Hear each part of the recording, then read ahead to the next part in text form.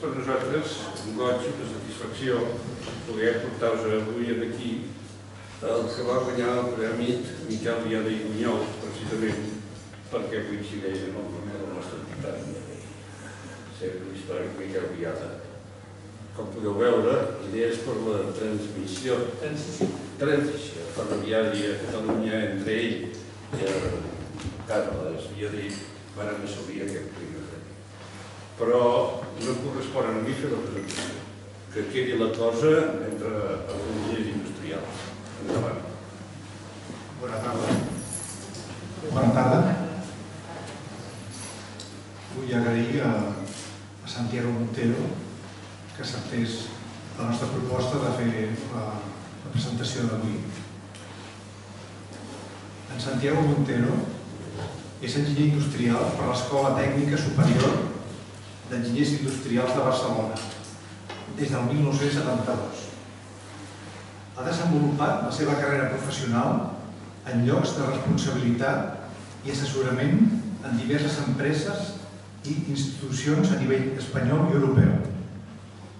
Per qüestions de temps no, no entraré en detalls. És, és un currículum molt extens, que precisament estava comentat. El coneixement exhaustiu de les infraestructures de transport amb la seva interacció amb l'economia i la societat li proporcionen una àmplia visió sobre la problemàtica dels diversos mitjans de transport des del punt de vista empresarial, tècnic i econòmic. Com a divulgador, que és la façana que més ens interessa avui, expert en ferrocarrils, és a destacar el seu llibre Ferrocarril, el medio de transporte del siglo XXI, publicat el 2013 i que ha esdevingut un clàssic, on explica els factors ambientals, econòmics, socials i tècnics que acabaran fent que aquest mitjà de transport sigui l'eix del transport multimodal que s'està imposant i que dominarà els propers anys. Jo recomano el llibre, si, si no el tenen possiblement els, que estem interessats en el ferrocarril el, el tenim de fa temps. Jo el tinc dedicat per l'autor, amb el qual estic molt satisfet.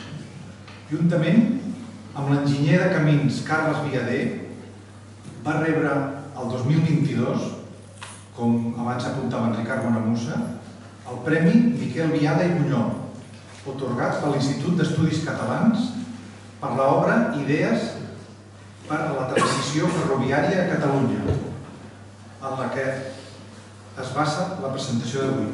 Em sembla entendre que és així, o alguns elements d'aquest treball. Amb vostès, Santiago Montero, i la seva ponència titulada El tren del futur, el Maresme i Catalunya. Els demano un fort aplaudiment de benvinguda.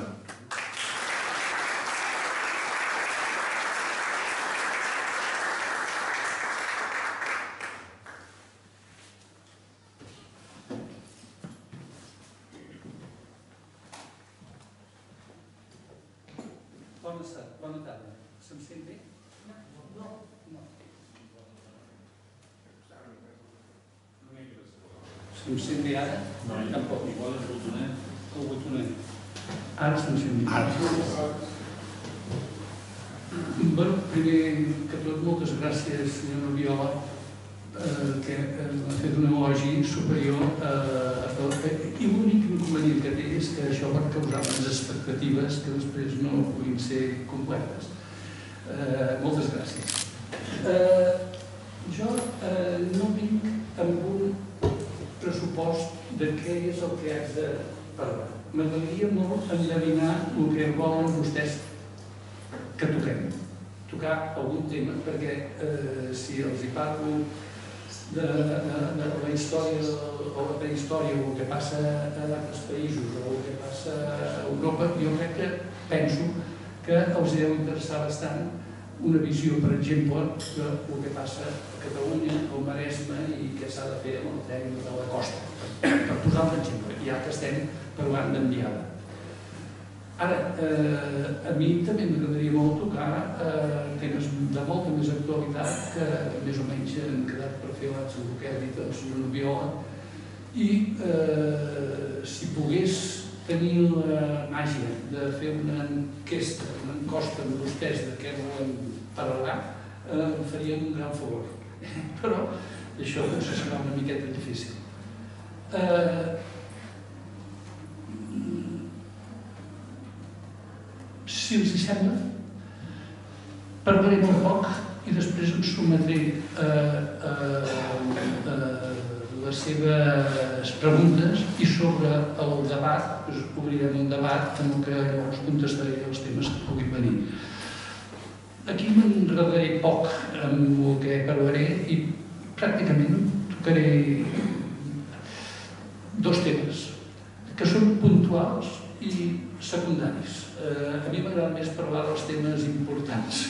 Eh, per exemple, m'agradaria molt parlar de la governança del ferrocarril a Espanya, si és que realment és que això tindria de correspondre al Ministeri i a Renfe, o tindríem de passar a les autonomies, o no, o com tindríem de fer per lligar-nos amb Europa, que jo crec que aquests són els punts més importants.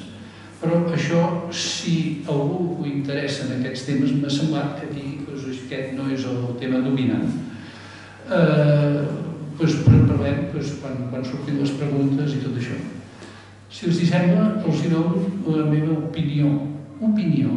I aquí no tinc més valor que la de ciutadà del Maresme, perquè jo visc eh, per mi, eh, allà.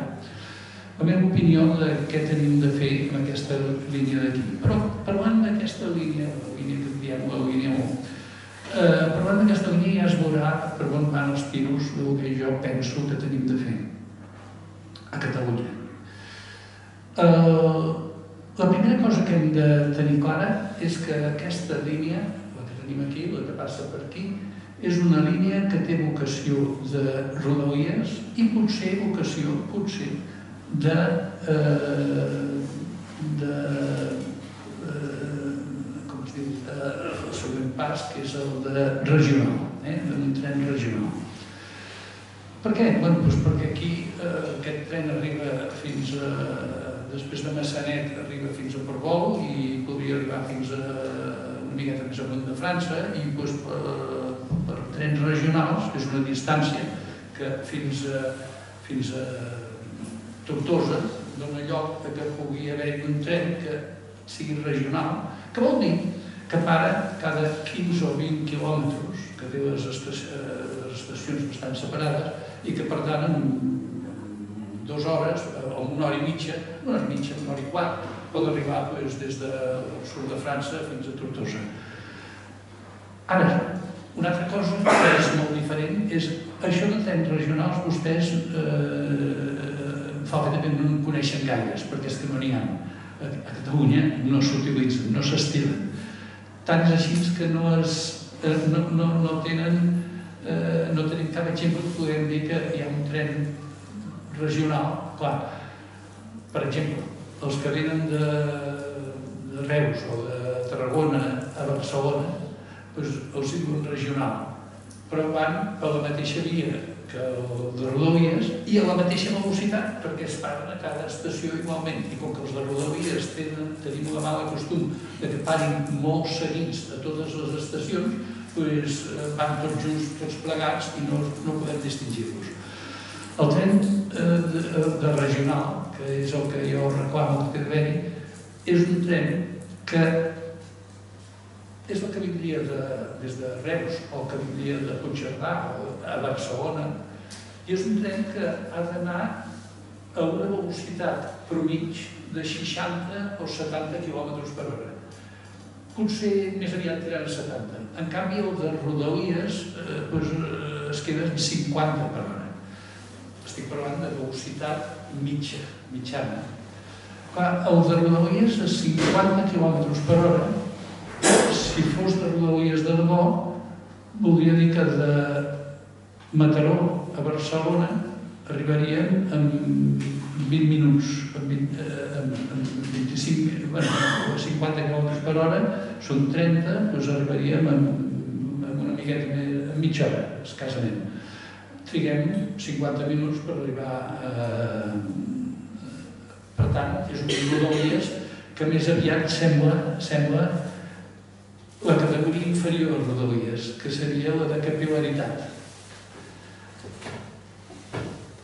Amb això estic intentant començar a explicar que a Alemanya tenen molt clar el que és capil·laritat, tramvies i metros, també potser els trens eh, tramvia, els trens, eh, trens tram.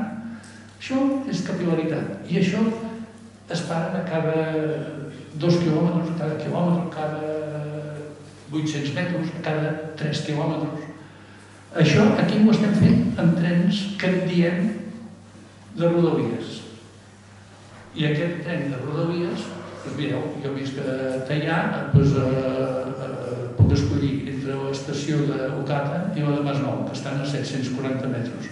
I una miqueta més avall puc escollir entre la de Montgat Nord o Montgat Centre, que estan a 1.200 metres. Això no és un tren, això és un tramvia.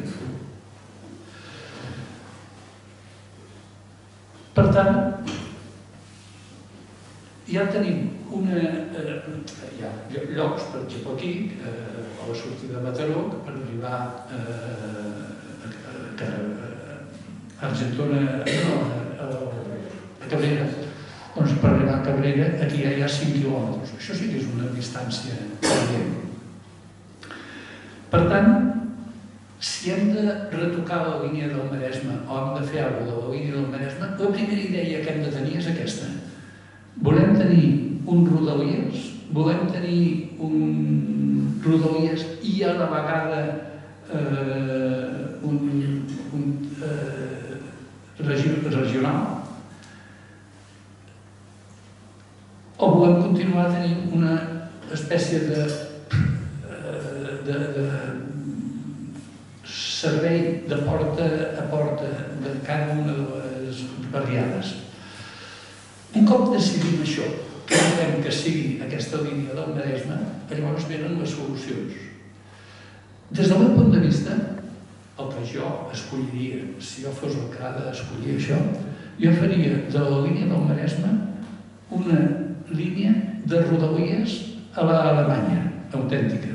És a dir, que tinguéssim una velocitat de 50 km per hora per, per aquest camí, que ens donaria? Que des de, per exemple, els pobles com Calella de la Costa o de Pineda, on hi ha moltes cases construïdes i la gent no hi viu, perquè són cases que, que queden massa lluny de Barcelona i la gent no va allà a Barcelona, doncs, doncs es tindria d'aprofitar aquelles cases perquè s'hi visqués tot l'any.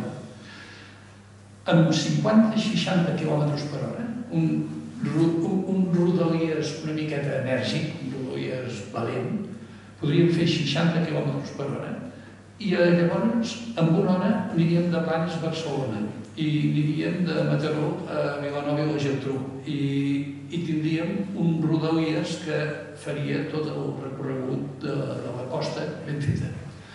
Això ens de portar, portar a tenir unes aturades a cada 5 quilòmetres, 4, però entre 4 i 5, i llavors podríem aconseguir aquestes velocitats. Primer problema que, que necessita aquesta línia per poder fer això, que a Barcelona no es fa Perquè resulta que quan aquest tren arriba, en el cas actual, encara no hi ha l'estació de Cervera, però quan hi hagi l'estació de Sagrera, arribarà a Sagrera i pararà. Després arribarà a Clot i tornarà a parar. Després pararà a, a, a Triomf, després a Catalunya, després a, a vindria el, el, el, anant a Hospitalet, a, a, perdó, a, després Catalunya, després Sants, i després de Sants, anant cap a Hospitalet, hi ha una parada que no es veu, però que existeix, que és el, la, la, sal de multa, eh, no sal la cruïlla que fa amb la línia 2 que fa un cisellament abans d'arribar a l'Hospitalet que normalment obliga a que també es pari. Per tant, tenim una pila d'aturades a Barcelona que solament aquestes aturades ja fan que la línia vagi, vagi, vagi molt lenta. Per què? Perquè hi ha una cosa que eh, és la teoria de cues, que a l'escola ens la van fer aprendre quan, quan hi anàvem, que, que és l'efecte acordió, que és el mateix que tenen els cotxes. És que si tens un tram, com és el tram aquest de, de Barcelona, on el tren va molt a poc a poc, els que venen a darrere que han sortit de, de Blanes, que van a 50 per hora o 60 per mig, es troben que els que tenen a davant estan parats i com que les freqüències són molt justes, doncs a, a l'arribar, igual que passa les parades de les autopistes, a l'arribar a prop de Barcelona han de parar. I per tant, per parar, doncs ja van en poca velocitat des de, des de que surten, des de Planes o des de on sigui, o des de Dens, van en poca velocitat i per tant la línia va lenta. En conseqüència, si volem fer que aquesta línia sigui una línia de rodalies com Déu mana, hem d'arreglar el pas a Barcelona. Els puc dir que aquesta és pràcticament la, la meva feina en aquests moments, d'una manera no oficial, absolutament altruista, juntament amb dos o tres amics més, entre els quals hi ha el Viladé, el Viadé i alguns més, però ens dediquem a, a donar la llauna, no a, a Renfe, que Renfe tot això ja ho sap, i, i, i a DIF ja ho sap, sinó a donar la llauna als polítics de Barcelona perquè d'una vegada arreglem el pas per Barcelona, que necessita es pot fer de moltes maneres, una d'elles, no l'única, és un tercer túnel. El tercer túnel eh, eh, serviria el que es. Bueno, això ja, ja, ara no anem a parlar d'aquest dia de fer Barcelona, si voleu parlarem amb la, amb la, la etapa de, de conversa que tindrem després. Però en definitiva, us haig de dir que la línia de la costa no cal recordar. Aquesta línia de la costa, eh, l'amic Valero ho sabrà dir millor que jo, fa el fet per anar a 120 km per hora de, de, de, de Munt avall, pràcticament. Pràcticament fins, fins a Arenys. Fins a Arenys pot anar a 120 de Barcelona, de Sant Adrià Arenys, la velocitat límit és 120 km per hora. És a dir, que amb velocitats punta, si tinguéssim les aturades una miqueta distanciades, aquest tren podria fer els 60 quilòmetres de promig per anar des de Blanes a Barcelona. I a baix passaria el mateix. El problema és que arribar a Barcelona es para. I al parar-se doncs, es té de resoldre a Barcelona. No diguem com s'ha de resoldre, però en aquest cas ja es podria fer. Però és que llavors vindria que tindríem d'arreglar que entre Ocata i, i Masnou hi hagi una sola estació en lloc de dos i que de eh, Montgat Nord i Montgat Sud també hi hagués una sola estació. I sobretot, sobretot, el que tindria de venir és que a les estacions on pari el tren no hi vagin a parar només els eh, del poble que viuen a menys de 500 metres de l'estació, sinó que les estacions, la de Vilassar, la de, la de Premià, la de Masnou, tindrien de tenir un envolvent que li podem dir el Parc en Rait o li podem dir el centre direccional, que fes que la minicomarca aquella de doncs, els pobles de la part alta del Maresme, que necessàriament agafen el cotxe o l'autobús per anar-se'n a Barcelona perquè quan arriben a Masnou o a, o a Premià no tenen lloc on aparcar el cotxe o, o simplement que l'autobús els deixi en un lloc eh, gran on puguin entrar, doncs que això es resolgui.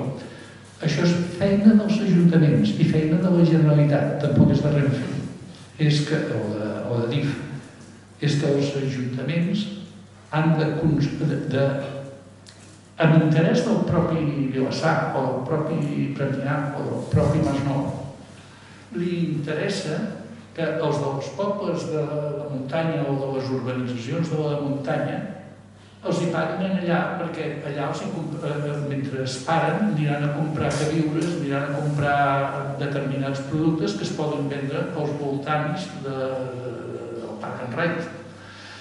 Doncs això és un problema urbanístic. És a dir, hem començat a parlar d'un problema de com hem de fer la línia del Maresme i ja hem arribat a un problema urbanístic, no un problema ferroviari. I quan abans de començar parlàvem amb Valero, parlàvem d'un altre problema del ferrocarril, que no és problema del ferrocarril, és un problema urbanístic. La pregunta és, eh, els trens de rodalies i que també en diuen de regionals que venen per, que tenim a Catalunya, si els posem un al costat de l'altre en fila, en fila índia, sabeu quants quilòmetres ocupen? Doncs al voltant de 30. Aquests 30 quilòmetres són els 30 quilòmetres que es necessiten de cotxeres a la nit perquè els trens a la nit no se'ls pot deixar eh, a la intempèrie de les vies generals. Entre altres coses perquè venen els grafiteros i, i treballen molt. Però és que a més els hi han de fer manteniment i els hi han de, i, i, i han de tenir uns, uns equipaments als personal, el personal de l'empresa perquè a les estacions ja tinguin els seus tallers i allà puguin tenir les seves coses. Com que no posem, només tenim 15, 13 quilòmetres de, de cotxeres, els trens viuen a a la nit, estan a la intempèrie. Pues això també ho han de resoldre la Generalitat i els ajuntaments buscant espais a Catalunya on, a més de construir pisos, que sembla que és l'única cosa per la que tenim mania, encara que després resulta que tenim un 20% de pisos o de cases o d'habitables, un 20 i em quedo curt, perquè crec que són més. Inutilitzat, perquè hi van només un 17 dies a l'any, o sigui, eh, eh, això tampoc s'entén.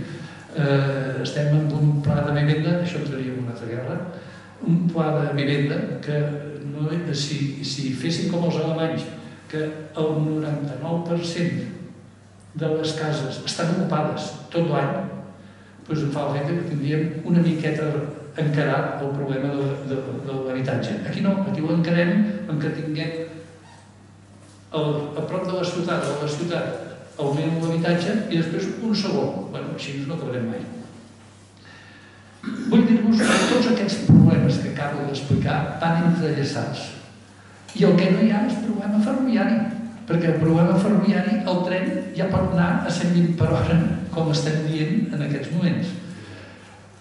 És a dir, el problema és un problema d'urbanisme, és un problema d'estil de vida, és un problema de model de vida, és un problema que ens portaria molt rato a discutir, però eh, que o el solucionem o no solucionarem mai el tren de Rodalies.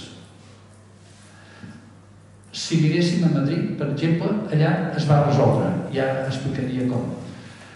Aquí no s'ha resolt, però es va resoldre no perquè Renfe o Adif es portés millor en Madrid que en Barcelona. Aquí no hi va haver en aquest sentit una actitud preconcebuda com moltes vegades ha passat a Madrid i Barcelona que ens han perjudicat. Aquí ens hem perjudicat nosaltres sols. I aquí la responsabilitat la tenim nosaltres. I aquí la responsabilitat és de la Generalitat. Amb aquestes premisses, llavors hi ha el tema de la, vi, de, de la via del Maresme està molt, molt aclarada, molt solucionada. Però encara convé fer algunes precisions. Jo no faria que la línia del Maresme tingui eh, aquest, aquest, aquest rodalies que a més suportés els regionals. O sigui, jo no faria que des de Portbou fins a Barcelona sortissin uns trens, determinats trens, de quan en quan, que intentessin adelantar, passar els, els rodalies, perquè els rodalies van més a poc a poc, i ells fent salts de 15 o de 20 o de 25 en 25 quilòmetres arribessin des de Figueres a Barcelona doncs, en 45 minuts fent salts, eh? fent, bueno, 45 és passar-se, eh? o sigui, en, en una hora i, i 10 o el que sigui. Aquests trens sí que és necessari que existeixin a la via ja més a l'interior, la que passa per Sant Celoni, o els que passen per l'interior. Allà sí que es pot fer. Per què? Perquè allà les freqüències no són tan grans. Aquí al Maresme tenim unes freqüències que si volem que tot el Maresme, el Maresme està superpoblat i es mou molt, es necessita que la freqüència dels trens sigui baixa, ben dit alta, eh? que hi hagi una freqüència alta. I, per tant, que cada 7 minuts, 6, 8, 9 minuts, coses d'aquest estil, depenent de les hores del dia, passi un tren. Això és pràcticament un metro. Eh, llavors, això és incompatible amb que tinguem eh, trens que facin salts, trens canguru, diguem, que són els regionals, perquè aquests trens eh, necessitarien, per poder treballar bé, que és el que passa a Madrid, tenir eh, quadriplicada les vies. O sigui, que la via, en lloc de via doble, fos quadriplicada i un passés per una via i l'altre per l'altra. Això al Maresme no ho podem fer. Tenim un tren que ens passa al, al costat del mar i Llavors el que hem de fer és tenir una altra via i allà no hi cap perquè els pobles... Doncs, eh... Per tant, jo em conformaria en que el Maresme tingués unes rodalies eficaces amb una velocitat aproximada de entre 50 i 60 km per hora de mig, que tingués les estacions separades molt més cara i féssim un esforç per separar aquestes estacions i dotar-les a les que sobrevisquin d'una gran, gran capacitat d'apropar a tota la gent que viu pels voltants amb comoditat i amb això ja en tindríem prou. Perquè llavors vindria el problema de debò de la línia del Maresme. I el problema de debò de la línia del Maresme és què farem quan el Glòria els, els festivals marins que ens vindran en els pròxims anys, que segurament seran més freqüents i més forts dels que tenim ara, comencin a atacar eh, la línia de la costa. La, la resposta ja l'hem tingut i la teniu aquí a Mataró, entre Mataró i Cabrera. S'ha fet... Aixequeu la mà els que el coneixeu. Bueno, està bé, eh, estem més del 50%, més o menys. Però aquesta és una obra fantasma. Si parleu a Tallà, que és el meu poble, de què, què s'ha fet entre eh, Cabrera i, i Mataró, Mande, no, no, no, la gent no en té idea. I a Barcelona, com que els diaris no n'han parlat, parlen d'altres coses del tren, però no parlen d'aquesta, doncs no se sap. Però aquí s'ha fet un obron impressionant i aquest obron no està per resoldre el problema del tren, està per resoldre la invasió del mar a la costa. I aquesta invasió del mar a la costa, doncs, aneu per pobles, eh, tots sou de, de per aquí, eh, aneu a pobles, a Masnou, per exemple, doncs, eh, a l'època de la Glòria, el, el mar va entrar eh, 200 metres del, del, del poble. Quina solució té això? Jo crec, jo crec que mentre sigui el Glòria, el, el, els, els temporals, encara és fàcil. Però si això s'acompanya, cosa que és molt probable, ara podem fer previsions de que passi d'un creixement del, del nivell del mar. I aquí, si arribem al nivell del mar, en quin creixement perquè no és el mateix que sigui de mig metre o un metre que sigui de 3, per exemple. Eh? Llavors, el temporal marino serà a mig metre que guanyem de nivell de mar, això pot passar d'aquí 30 anys, 40 anys, quan sigui, però a mig metre el temporal marí serà molt més potent. Per tant, el problema no el tenim amb el tren i amb la via de tren. El problema a llarg termini el tenim en què hem de protegir la costa de la invasió del mar agressiva. I aquí és on el tren pot jugar un paper molt important, perquè per protegir el tren protegirem la costa. I el tren, i el tren serà el xivato que ens dirà com estan les coses. I quan el tren té problemes, és que els problemes els té la, els pobles de la costa. I llavors hem de fer obres d'aquest estil. No dic que sigui com aquest, aquesta que s'ha fet aquí, a, aquí a, entre Cabrera i, i Mataró. Però coses que s'hi assemblen. Hi ha qui diu, oh, en el límit tenim d'arribar a fer els dics que tenen a Holanda per resoldre el problema de la costa. Ja en tenim un de dic d'aquests per fer. El Prat de Llobregat hi ha l'aeroport. L'aeroport està a dos metres d'alçada sobre el nivell del mar. Dos metres i mig, aproximadament.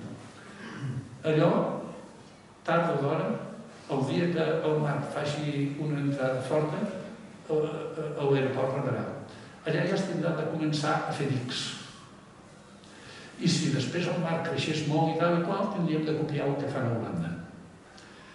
Per tant, en aquesta explicació que us he fet, eh, jo crec que ja podeu veure per on va la mm, preocupació que tinc jo respecte al tren del Maresme. Els detalls de si el tren del Maresme l'hem de fer passar per l'interior, per exemple, que és una cosa que segurament a molts de vosaltres us preocuparà, doncs, eh, jo crec que no resol gaire els problemes. No els resol gaire perquè a l'interior de seguida ens posarem amb el, amb el Riera eh, muntanya, Riera muntanya. Tindrem de fer una gran... Tot allò està eh, venut i revenut d'urbanitzacions que entren per l'interior. Serà molt difícil, es tindran de fer desnonaments molt raros. I al final de comptes farem molt gasto, tindrem els mateixos problemes aproximadament i anirem a, la, una velocitat molt lenta perquè el tren no tindrà aquest recorregut tan, tan recte que té eh, al costat de la costa. Hi ha una població amb la que sí que jo faria tren per l'interior. Aquesta eh, és una mania personal, no és que, més que una mania personal, és Badalona. Jo entenc que des del de, el tren a Badalona fa un recorregut per la costa que fa inclús estar lleig perquè eh, allà a Badalona té una, una vista deslluïda. Però el fum és que a l'arribar a Sant Adrià llavors puja pel riu, al costat del riu, i es passa dos quilòmetres anant cap amunt. Quan anem estudiar ens van ensenyar que la hipotenusa és eh, més curta que dos catetos. Llavors, si des de Montgat passem a l'autopista i arribem a més o menys on hi ha el Gorg o el Camp de la Joventut de Badalona, ens estalviem eh, un quilòmetre llarg de trajecte. I llavors podem molt fa... Eh, aquest quilòmetre llarg, com que anem a 60 km per hora, és un minut. Ja hem guanyat un minut, eh? perquè aquí hem d'anar guanyant minuts com els avions, o sigui, procurant eh, anar molt ràpid. Eh, no és aquest el tema. El tema és que el, el, el tren, a l'arribar eh, a, a Gorg de Badalona, llavors no, naturalment s'ha de soterrar, i va a parar just de cara a l'estació de Sagrera. O sigui que guanyem espai, guanyem temps i permetem, i permetem que la línia antiga, la que passa per la costa, es civilitzi, es, eh, com es diu? Com? Pacifiqui. Especifiqui, aquesta és la paraula que ara utilitzen, eh? especifiqui.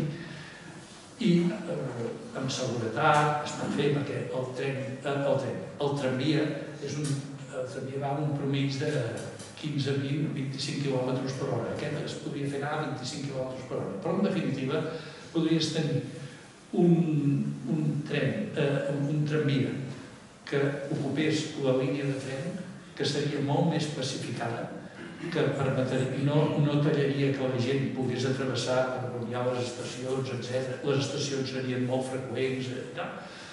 I des de els de Badalona i els de Sant Adrià podrien anar tranquil·lament a utilitzar l'estació de Sagrera com a capçalera dins o l'estació de Montgat com a capçalera dins. En definitiva, jo crec que és l'únic tram que precisa que hi hagi un, una via interior i, eh, per, i després ja parlaríem d'Arenys a Sant Pol i això si s'hauria de fer alguna, alguna coseta. Però en definitiva jo crec que el, eh, això seria aprofitar el que tenim, seria fer un bon, una solució que resoldria quasi tots els problemes i atenuaria aquells que no es poden resoldre. I aquí deixaria jo el que jo vindria a parlar de, de, de la línia de la costa. Si volen, els parlo d'una altra cosa, però a mi m'agradaria molt més que fossin vostès els que m'excitessin perquè parli d'alguna altra cosa i llavors anar contestant a les preguntes que aquí es puguin produir. Els hi sembla? Fem així? Doncs pues moltes gràcies.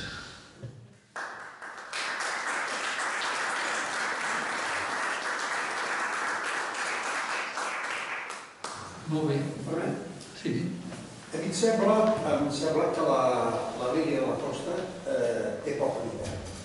Eh, I quan es fa una planificació hem de pensar no un termini de 10 anys, 20 anys, sinó ben bé 50, 100 anys. I llavors, en aquest cas, per el que ha parlat del canvi climàtic, la pujada de, del nivell del mar, tota una sèrie de qüestions, eh, a la qual cal afegir el preu que tenen eh, d'especulació els terrenys que estan a la platja, doncs em fa l'efecte que un plantejament seriós podria passar per fer una línia que passés entre mig els pobles que en diem demà i demà. Eh, és la seva opinió i a vostè li agrada més aquesta. A mi m'agrada més l'altra. I, i, això- i, I aquí, aquí, Però a mi m'agradaria, a veure, jo, Aquí, aquí, eh, enginyer, eh, quan jo, jo- jo també soc enginyer i m'agradaria arguments tècnics, no opinions. És a dir, jo li dic el per què penso que s'hauria de traslladar la línia. Perquè no, no, la inversió que representa l'aplicació eh, serà molt alta. I llavors, eh, en aquest sentit, bueno, la inversió, la inversió de la protecció, ah, bueno, la inversió de la protecció de la costa, la inversió de la protecció de la costa, la pagarà sí, la paguem igualment. si hi ha eh, tren com si no hi ha tren. Per tant, aquesta ja, ja, ja, ja, ja, ja la tenim de pagar? Perquè la costa és necessària. Segona, i aquesta és la més important, si realment, eh, el que passarà realment en aquests pròxims anys, no ho sabem. Eh, hi haurà persones que defensaran que eh, vindrà eh, pujades de 7 metres degudes de, de, del nivell del mar, degudes eh, al dia que Groenlàndia eh, es fongui. I això vindrà bastant de pressa perquè la corrent del, la corrent del sud de l'Equador passa molt a prop i eh, actualment es queda frenada per el desglaçament de l'Àrtic, però aquest desglaçament està acabant-se, amb la qual el Golf començarà a atacar a Groenlàndia i Groenlàndia ens, ens farà pujar al nivell de metres. Hi ha gent que diu que d'aquí 150 o 80 anys tot el món haurà pujat eh, només per la Groenlàndia entre 4 i 6 metres. Jo no ho sé. No sé si per... no ho sé, no, no, no, però és un camí. Per tant, hi ha molta indecisió de saber què anirà passant en els pròxims 50 o 100 anys. Llavors, el que el tren vagi aguantant eh, i anem millorant els, eh, les proteccions del tren és una cosa que l'anirem fent, però la tindrem de fer a mesura de que vagin passant les coses. Si passen molt de pressa, ho farem molt de pressa. Si passen molt poc a poc, ho farem en molts anys. Per tant, el que ens interessa en aquests pròxims anys, tant de bo no passi, tant de bo d'aquí 50 anys tinguem la mateixa situació que, que, que també l'hem de, de, de contemplar. Però sigui quina sigui la solució, el tren ens anirà marcant els problemes que van apareixent. I per tant, aquesta, aquesta línia estarà sempre en obres. O sigui, sempre estarà arreglant el, el, el, el, el trosset que s'està espatllant més. I allò es anirà... Això ho van fer els holandesos. O sigui, eh, és el procés. Ara, posant-se ara a fer un, un gran dic sense saber si es compliran aquestes catàstrofes, seria una tonteria. Eh, el tren, el tren, la línia més recta que té per anar cap a Barcelona, la línia més ràpida, és la que tenim a la costa. I el que ens interessa és que vagi a una velocitat alta, una velocitat alta, i a prop de la costa, que és la manera d'anar ràpid des de, des de la part alta del Maresme fins a, fins a la part de Barcelona i passant a Barcelona, perquè no, la vida no s'acaba a Barcelona, continua davant. Llavors, eh, quan més ràpida sigui aquesta línia de rodalies, quan més ràpida sigui, molt més bon servei hi haurà a la costa. Llavors, si aquesta línia la fem entrar als pobles de l'interior, per segur que aquesta línia començarà a fer curves. Quan anem per les muntanyes ja t'hi pots posar com vulguis, que sempre acabes fent moltes curves. Serà més car de fer, perquè eh, serà, eh, serà cara. Els problemes de desnonament que hi haurà als pobles eh, serà majúscul. I al final acabarem tenint una línia de tren que la pagarem dues vegades. La pagarem amb l'obra que constantment tindrem d'estar fent a la costa i l'obra que hem fet per fer la línia interior. Per tant, crec que costa el doble i, a més, ocupa molt espai, perquè la servitud, la servitud que tindrà en els pobles del mig eh, doncs, doncs, són servituds que ocupen espai. Per tant, jo no la faria. Ara, és la meva opinió, i respecto perfectament la seva opinió, i, i, i, i a més, eh, cadascú de nosaltres, amb una quantitat de variants tan grans com hi ha en aquest assumpte, eh, el que hem d'acabar fent és un referèndum i, i, i decidim. Però un referèndum que, a ser possible, la gent estigui informada, que la gent estigui sapiguem de què parlem, amb, argumentacions tècniques. I llavors, aquestes argumentacions tècniques, que és les que vostè reclama, i jo també, eh, doncs ja les farem. Eh? Eh, tenim molt temps per fer-les i hem de començar a fer-les, però les hem de fer, les hem de fer. El que passa, el que passa és que en el tema ferroviari hi ha altres aspectes tècnics que són molt més urgents. Per exemple, arreglar el tema de Barcelona.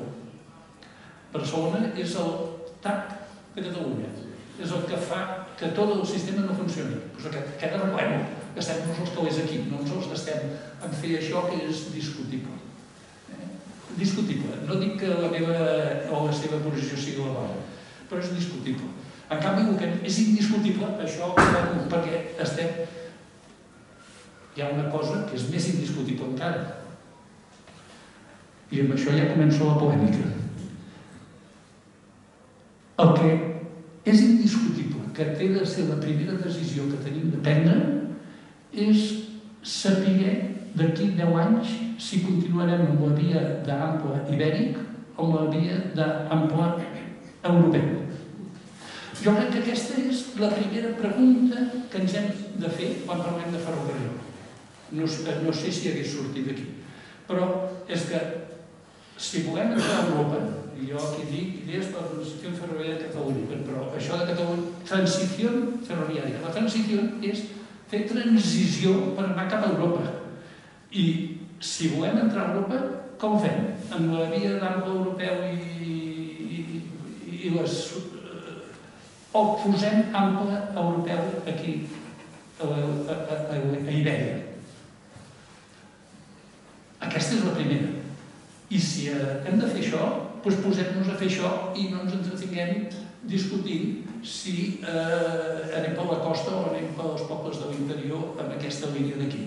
És a dir, hi ha una sèrie de prioritats tan extraordinàries que aquesta discussió jo la posposo. Dic la, el meu pensament en aquest moment, disposat a canviar i disposat a acceptar la votació que es faci en el seu moment. Però que encara, encara no toca. Sí, sí. No, eh, estic... Vaig jo? Sí. Bueno, estic molt d'acord amb el que estic sobre, sobre el ferrocarril i la línia de costa. Hem de tenir present que els pobles del Baix Maresme, si són segurs, és gràcies a l'escollera del ferrocarril que els protegeix. El temporal Glòria ens va demostrar a tots els pobles del Baix Maresme, des de Vilassar fins a, a Badalona, no varen sofrir, no varen patir El que es va, de el que es va Eh, passar. el que va passar doncs, a Tossa, a Lloret, aquests, a, a les platges de Blanes, que el mar entre 3 i 4 carrers a dins és el que passaria en els, pobles, en els pobles del Baix Maresme si no hi hagués el ferrocarril. Per Però tant, aquest, aquest senyor va a favor meu, eh? Som dos a un. això per, per un cantó. Quan pot pujar el nivell del mar? Bé, hi ha molts càlculs, hi ha moltes variants, hi ha molts algoritmes, suposo que, hi ha, moltes mentides també. Si es fongués tot el gel, no Groenlàndia, perquè Groenlàndia no compta perquè és un 2% del gel del món, el 98% és l'Antàrtida. Si es fongués tot la, el continent de l'Antàrtida, el nivell del mar pujaria uns 60 metres a tota la Terra, amb el qual tenim el problema ja resolt, perquè desapareix, des- desapareix la civilització, perquè tot, que, tot el que hi ha a Catalunya de profit està a menys de 60 metres. I no sols a Catalunya, sinó a tot el Mediterrani. Per tant, entre una cosa i l'altra hi ha un entremig.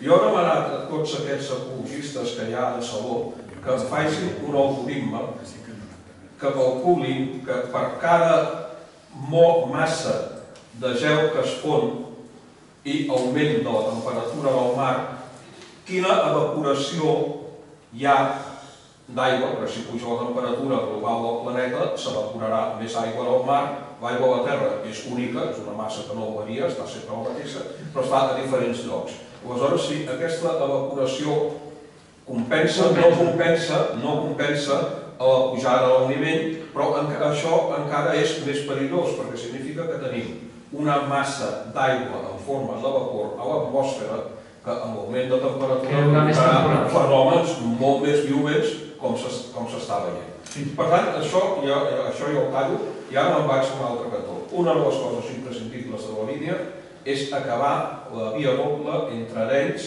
i Blanes com a mínim. Eh, de tenir via única a tenir via doble, això jo tinc els càlculs fets, els he portat aquí, són 10 minuts de marxa. O sigui, un tren fent les mateixes parades triga exactament 10 minuts menys entre Arenys i Blanes. I no sols això, sinó que estalvia la meitat de l'energia, perquè ara els trens en via única paren dues vegades, a l'entrada de l'estació i a l'estació. En via doble mm, només paren a l'estació com si fos un baixador. La seguretat, evidentment, augmenta, no? perquè la via única no deixa de ser un factor de risc, com s'està veient a vegades, encara que no transcendeixi, però sí que n'hi ha de risc i sí que hi ha, passen coses i sí que en poden passar. En via doble tot això no passa. Hi ha moltíssim a fer en la línia. Nosaltres teníem, havíem fet un grup de treball, això no sé si ho sap, jo ho vaig presentar aquí en una presentació que vam fer l'any passat, que era un invent que se'n diu la doble malla lleugera. La doble malla lleugera s'aplicava entre Mataró i Sant Adrià i s'aplica en dos grups de trens. Uns paren a les estacions, cada tren salteja una estació. I el tren següent para a l'estació que s'ha saltejat, amb la qual s'incrementa la velocitat comercial. Aleshores hi ha dues estacions Sí, sí, al, al, al, al mig, que són Premià i Badalona, paren tots els trens i poden servir d'intercomunicador. Tot això es basa en que eh, ningú o ningú ha d'agafar el tren per anar entre Masnou i Ocata, ningú ha d'agafar el tren per anar entre Vilassar i Cabrera, perquè això no dona, no tràfic, eh, i, i capta, i això amb hora punta, però això no es va aportar, o sigui, jo vaig intentar trobar-ho, perquè això es pot fer sobre el paper, però s'ha de fer sobre, sobre el terreny. I no hi va haver-hi una oposició, bueno, desinterès total en solucionar-ho. Això significava que un tren entre eh, Mataró i Sant Adrià guanyava l'ordre de 7 o 8 minuts de marxa, que és, una, és un guany eh, important. Eh, tot això, eh, si féssim una conferència dedicada a la línia de la costa, que no és el cas, hi ha quatre o cinc alternatives eh, i aquesta del, del, Balaca. Aquesta és, és bona, és eh, enginyosa i, i no és cara. Eh? Però, però això jo ja ho deixaria, jo he donat la meva opinió eh, i, i ho deixaria aquí eh, i, i, i, i potser voldria, allà darrere hi ha un senyor que pot vol preguntar. Sí? No, yo voy a preguntar sobre la línea orbital. Voy a hacer dos preguntas rápidas. Sí. La primera es um, l'opinió que té sobre la línia orbital ferroviària.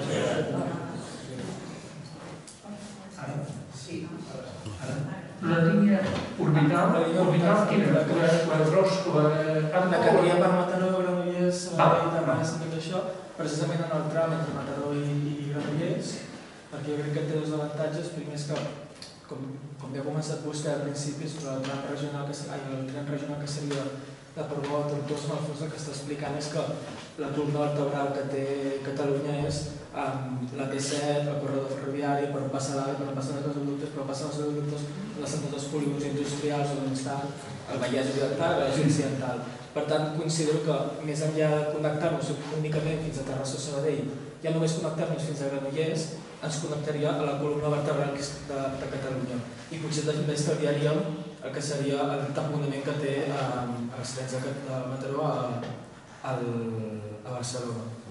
Però, a part, jo crec que la, en el punt concret de Mataró, la part bona que té és que és, jo crec que és un cas insòlit el cas de Mataró, que és l'única ciutat de més de 90.000, 100.000 habitants de, de, de Catalunya i només l'habitabilitat de- d'Espanya, que no està en una estació. I a més aquesta estació a la perifèria, és a dir, al perímetre de la seva ciutat, per tant, la meitat del, si fem un radi de 800 Sí, sí. metres, la meitat se la queda al mar, l'altre l'altre quart se queda la ciutat, l'altre quart se queda un polígon industrial que mateix està deshabitat. Terrassa, amb el doble de població, té 8 estacions. Granollers, amb la meitat de població, té 3 estacions. Martorell, amb una quarta part de la població, si no m'equivoco, té 3 estacions. Sé que són casos diferents, que cada ciutat... Però és per, és per posar els números sobre la taula. Jo crec que la línia ferroviària de Mataró, que entraria el tren cap a dins, que pot ser costosa perquè ha de ser um, soterrada, que a més a més uh, afegiria estacions, però seria un bon punt per connectar-nos cap a la columna vertebral, que és um, la, la P7, la, la ferroviària, i en el fons, i l'altra pregunta que vostè potser... Has dit dues preguntes, aquesta és la primera i la segona? La segona, i va molt relacionada, eh? perquè vostè en sap més, perquè jo mai he aconseguit trobar-ho, però quin problema té la Generalitat amb Mataró quan el tema ferroviari? Perquè el PDI és el Pla Director d'Infraestructures del 2021-2030, de les 200 i pico pàgines que té, no hi ha cap menció a Mataró. El pla que hi ha de Rodalies actual, Ah, entesos. Contesto les dues. La primera, estic d'acord amb tu. El tram eh, Mataró-Granollers s'ha de tenir present. Prioritat respecte a les altres coses que hi ha. Aquí, eh, aquí hi ha, hi ha la prioritat, eh, és, és discutible. Però és evident és evident que el, el, el que deia en Sabatosa de fer el Vallès com el, el corredor de, de nord a sud de Catalunya és evident. Eh? Allà hi ha d'haver-hi tres vies dobles, una de mercaderies, una altra d'alta velocitat i una altra de rodalies. I aquesta de rodalies és la que eh, podria anar un cop està a Granollers, té dues divisions, es va o tres. Això està claríssim. Bé, d'acord. El segon tema. El segon tema eh, és que jo mateix m'he liat. Sobre per què Mataró... Perquè no t'ho bueno, i, el- i, el- i, el- i l'ATM i la Generalitat i tot això. El PDI no, no Bé, parla. el PDI, a veure, això, això és el que a mi m'agrada tocar. Eh? Això jo venia per dir. Qui decideix, qui decideix quines línies es fan i quines no es fan i qui cal, clar? L'Estat o la Generalitat? La resposta normal eh, aquí a Catalunya és dir que qui ho decideix, qui ho decideix és l'Es- és l'Estat. Pues, en aquests últims 10 anys no ha sigut així. Eh, el tema és molt llarg, vull simplificar-ho, i el simplificaré molt. Des del quart paquet de directives ferroviàries europees, Europa ha decidit i està implantant que el principi de subsidiarietat amb les decisions eh, urbanístiques i ferroviàries que afectin a les comunitats autònomes, lànders alemanys, eh, departaments francesos, o que sigui, que la regulació la faci la comunitat autònoma. En altres paraules, ens ha dit, i l'estat espanyol el 2010 ho va acceptar, que es faci la transferència de la regulació a Catalunya. Catalunya en aquests moments té els instruments urbanístics per fer-ho, però també els ferroviaris per decidir si la via aquesta de Mataró a Granollers es fa o no es fa. Com té la responsabilitat de eh, indicar que eh, aquí al Maresme pues, es faci un... com ha fet? que es faci passar un regional. Hi ha un regional, un que li diuen el R11, que li diuen regional, que no s'assembla a un regional en res, perquè és un tren de rodalies de tots, de, la mateixa tipologia i tal, i va parant a totes les estacions, però que va des d'Hospitalet a... no para fins a... perdó, dues hores i mitja. Com? RGU. RGU. RGU. No, no 11, RGU, RGU. Jo dic malament. Bé, doncs, això que ha de eh, prendre la decisió de, de la,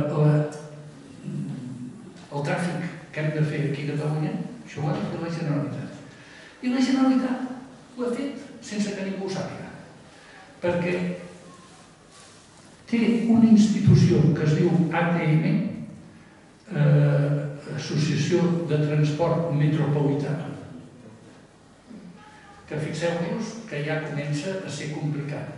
Perquè quan apareix la paraula metropolità, tots pensem que es refereix a l'àrea metropolitana de Barcelona. I no, l'ATM és l'entitat que la Generalitat ha delegat que faci d'agència planificadora. I per això, des de que va venir el del 2010, el, el, es va combinar que l'ATM faria un pla direct, director de mobilitat, PDN, i un pla director d'infraestructures cada 10 anys.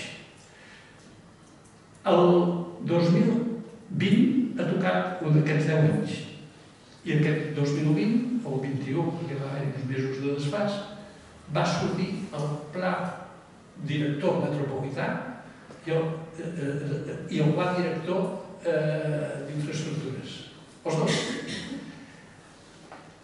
El pla, el PDM, és un totxo de mil i pico de pàgines en què parla de tota la mobilitat, tota la mobilitat, des d'anar a peu fins a l'avió i tal, i dedica exclusivament a tren, eh, dir quines coses s'han de fer en els pròxims 10 anys en tren, tres pàgines. Eh, eh, o no, potser quatre. Però llavors va sortir el PDI al cap d'uns pocs mesos i el, el, sortia el PDI i vam dir, bueno, a veure, ara el PDI eh, de la part de ferroviari, a veure què diu. I són la pàgina 297 a la 300, tres pàgines també. I parla de nou obres. O sigui, en aquests nou anys s'han de fer nou obres us les puc recitar, però no apareix Mataró, però, clar, en nou obres no apareixen gaires coses més, eh? o sigui que no apareix pràcticament res. I són nou obres la que sí que apareix el des d'allargar des d'Arenys fins a... fins a... fins a... Hostalric, allargar d'Arenys fins a Hostalric, fer eh, dos, dos vies, duplicar la via. Això surt. Eh? I surt, pues, us ho podria explicar les nou que surten. Però aquest pla, que és el pla màxim que fa Catalunya, no parla en cap punt de què es fa amb l'ample de Guia. Per rematar-ho, per rematar-ho, automàticament que surt el, el, la planificació que fa la Generalitat de Catalunya, surt al cap d'un any la planificació de Renfe Adif, que és el que fa el, el Macías, que és la planificació de Renfe Adif per, i del Ministeri dels pròxims 10 anys. I allà el que fa aquest pla és dir, com que ja s'ha fet el pla director urbanístic, el director urbanístic de la Generalitat, que és això de l'ATM, copio literalment el que ha dit l'ATM, que és res. I, òbviament, tampoc parla de, de si aquí algun dia tindrem o no ample europeu. Per tant, eh, la planificació, que és una responsabilitat que ens toca a nosaltres, i si no ens toqués a nosaltres, tindríem de fer com va fer Catalunya l'any 1998, que sense tenir llavors cap responsabilitat concedida, ni cap atribució, ni, cap, ni res de tot això, es va atrevir en Jordi Pujol a demanar-li en el, en el Solans que fes una planificació de la via d'alta velocitat des de des de Barcelona fins a Perpinyà. I la Generalitat va fer aquella planificació d'aquella via sense tenir cap atribució, només per decisió d'en Jordi Pujol, perquè és que no pot l'Estat negar-li a una comunitat autònoma que no exerceixi les seves funcions de control de l'urbanisme. I això entra aquí. O sigui, no cal que hi hagi eh, legislació europea. Però és que ara a sobre tenim legislació europea que ens ho dona. Per tant, la Generalitat tindria de tenir opinió sobre aquests assumptes. I de la mateixa manera que en aquella ocasió va mm, construir, eh, eh, va dissenyar per on tenia de passar aquesta línia, que després la va fer l'Estat i la va pagar doncs, a l'Estat, es va finançar a través de l'Estat. Doncs això és el que tindríem d'exigir que, es, que passés aquí i no ho fem. O sigui, el problema del ferrocarril, eh, si llegim els diaris, veurem que és, que és un desastre de DIF i tal i qual. Ho és, ho és. I si voleu, en parlarem. Però comencem per aquí, eh? O sigui, o ho arreglem nosaltres, cada mes ens toca o no es farà. Aquesta és la meva feina, eh? Com que no, estic jubilat i no m'avorrejo a casa, doncs em dedico a això. I som el, el grup aquest, el grup aquest d'aquí, eh, aquí, eh, eh, som els únics que ho fem, perquè el resto no saben, no contesten.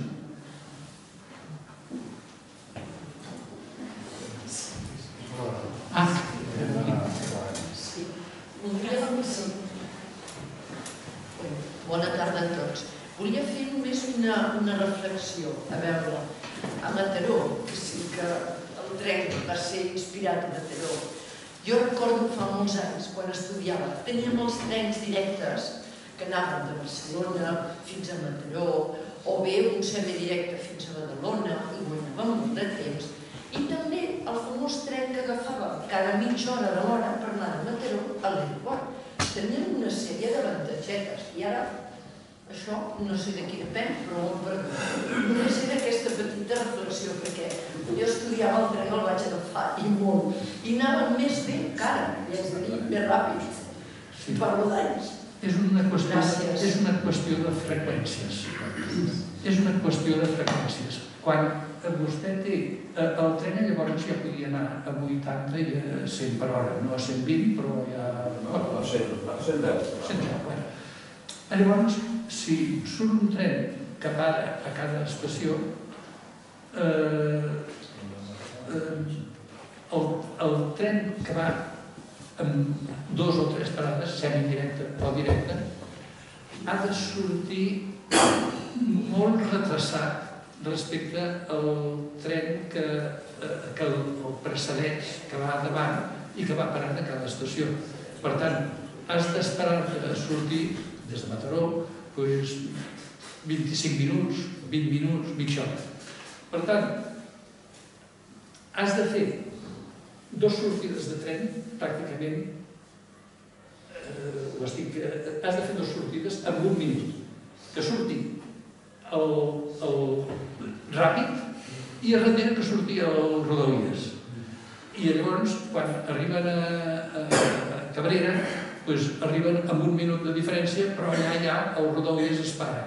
I el Rodalies es va parant els altres, tal i qual, fins que un de ràpid torna a sortir per darrere i, i, i llavors doncs, ven, ven molt menys, molt menys eh, viatgers. Bé, quan es donava aquesta situació dels trens directes, la freqüència era, hi havia un tren directe cada mitja hora, que anava a Mataró a Barcelona, al revés, I després un tren escalonat cada mitja hora a totes les estacions de la línia. Això vol dir que totes les estacions de la línia tenien una freqüència de pas de 30 minuts. Clar, això avui en dia és inadmissible. Si podem donar una freqüència de pas que es dona ara de 10 minuts, eh, és o sigui, el tren directe anirà darrere de les senyals del, del tren escalonat. Eh, això ja es va descartar fa molt de temps i amb la situació eh, que hi ha ara, això no és possible. I el, el tren que anava a dir, cada mitjoreta, cada hora, directe de Mataró a l'aeroport, ens anava de perles. Vivia molt bé la gent de Mataró, però no vol els pobles. Ja, però... Tenis, tenis, Això tenis, de venir cap a tenis, Mataró, parlo. Esperis, és que eh, jo anava a, a contestar això. Això, eh, la primera contestació és la que hem donat. La segona eh, és una altra guerra. És quan eh, es van fer els Jocs Olímpics, eh, es va modificar el, tot, tot, el, tot, tot les, les, els trajectes, els trajectes. Llavors es va decidir, jo crec que equivocadament, però això eh, ens ho hem de pensar dues vegades, que el tren de Mataró, en lloc d'anar per la costa sud i ser una continuació fins a Vilanova i la Geltrú, passés de mar a muntanya, que és el que en el món ferroviari es diu mar muntanya, muntanya, muntanya, tot aquestes coses. I llavors eh, aquest tren es tirés cap amunt eh, a Molins de Rei i arribés doncs, doncs, fins a Vilafranca del Penedès. Mentre que el tren de la línia 2, la que ve per Sant Celoni, aquesta fos la que passés per l'aeroport. Això va ser desafortunat? Jo crec que sí. No, no parlo de, com a maresmenc. Jo crec que va ser desafortunat per, per raons de mercat, eh, per raons de, de clientela, d'omplir trens i tot això, jo crec que es van equivocar, però en qualsevol cas ho van fer amb tota la bona fe, no, no hi havia mala fe, i es van equivocar i amb això es sortia d'aquest perjudici per Mataró. Sí, però és que venia gent de Rintona, de Però Vilassar, això- això- Això és el que, això és el que, de perles. això és el que jo dic, que s'ha d'arreglar el sistema de Barcelona ciutat i això ja és més llarg, això seria una conferència d'entrar en què s'ha de fer a Barcelona ciutat per resoldre tot el, el, el liu que tenim. Que hi ha solucions senzilles, senzilles, no excessivament cares, algunes més cares, però és que com no fem arreglar Barcelona, Espanya no entra al mercat comú ferroviari. Perquè el, el fer el canvi d'ample de via no és tan viu com sembla, no és tan viu, és bastant més senzill del que la gent es pensa. Eh, però eh, a on és realment complicat és als voltants de Barcelona. Als voltants de Barcelona, molt més que Madrid i molt més que... Bueno, Bilbao també trae. Eh, do- Doncs a Barcelona s'ha de fer un arreglo de totes les vies de la ciutat i fer-ne de noves i treure'n de eh, modificar-les, etc. que com no ho fem, no solament ens carreguem el sistema ferroviari català, una conseqüència la tenim aquí, sinó que impedim que el tren francès pugui arribar al sud d'Espanya i passar eh, per, per aquí. Per tant, això és imperatiu. I clar, que ens surti un pla de rodalies de, i un pla director d'infraestructures, que aquestes coses no es contemplen, és per, per jugar-hi canelles. No, no, no s'entén, no s'entén. Eh, eh, això eh, és molt greu que la societat, no solament la societat, els mitjans de comunicació, que d'aquest assumpte no en volen parlar, doncs si no ho resolem, eh, estem perduts. El tren no tirarà endavant.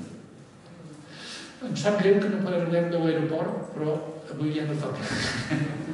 No, perquè un dels problemes que, que té molta importància és que a l'aeroport de Barcelona i parlem de canvi climàtic. Com que el canvi climàtic exigirà que energèticament comencem a estalviar benzina, amb això es que vindrà de pressa, eh, es tindran de sacrificar alguns vols. I els vols que es sacrificaran, entenc jo, això és, un, això és una quiniela que, que faig, eh? eh, serà substituïda per l'alta velocitat en tren. Ja tenim un exemple, no, no és un invent. A Xina, en aquests moments, tenen 34.000 quilòmetres i van fins a 50.000 de línia d'alta velocitat. Tota Europa, tota Europa, en línies d'alta velocitat, deu tenir entre 9, 8 o 9.000 quilòmetres. O sigui, Xina en té ja en aquests moments 30.000, tres vegades Europa. Però cuidado, Xina em refereixo a la part poblada de Xina. Xina són 1.500 milions de persones. Però aquests 1.500 milions de persones no estan repartits, sinó que estan a la part oriental, al mar de Xina, i els 1.500 o 2.000 quilòmetres que van a l'interior. Això vol dir que la, aquests mi- mi- 1.500 milions de xinesos viuen en un espai comparable al que tenim des de la frontera romana fins a Gibraltar i des de, i des de Anglaterra fins a Moscou. O sigui, aquesta part és semblant en dimensió a la de Xina. En aquesta part europea, que és un país desenvolupat, que portem 40 anys o 50 fent trens d'alta velocitat, això, només hem fet 10.000 quilòmetres de tren de, de línia d'alta velocitat. Els xinos, en els últims 10 anys, han fet 30.000 i el pas que van en tindran 60.000 d'aquí 10 anys més. És a dir, que Xina d'aquí 10 anys tindrà més densitat de tren d'alta velocitat 10 vegades respecte a Europa. I per què ho fan? Perquè ells pensen que els 2.000 quilòmetres de, de, de Barcelona a hi ha 600 quilòmetres i de Barcelona a Berlín n'hi ha prop de 1.800. Bé, doncs 2.000 quilòmetres i 2.000 quilòmetres, més o menys aquest quadrat, Xina el vol cobrir amb una malla ortogonal de línies de tren que vagi que totes les ciutats es comuniquin per alta velocitat i no per avió.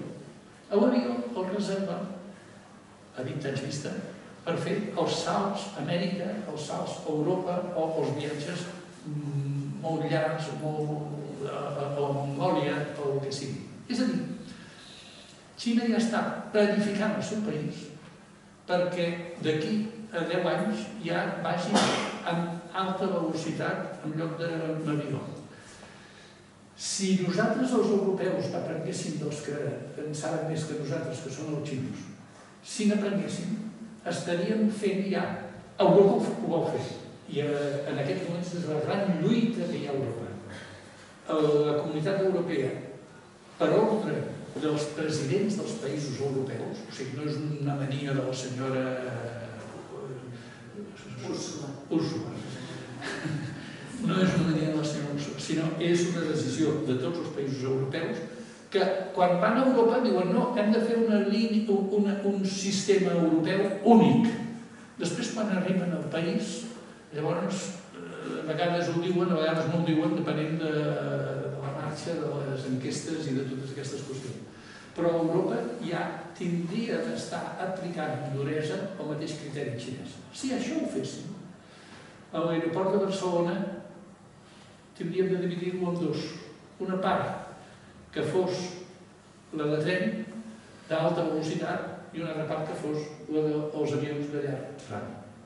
I fer com fan els xinos.